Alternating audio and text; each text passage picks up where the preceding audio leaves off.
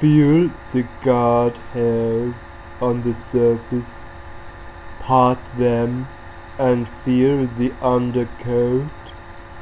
Slide your hand down into the slot. Can you feel the layer of blubber under the skin?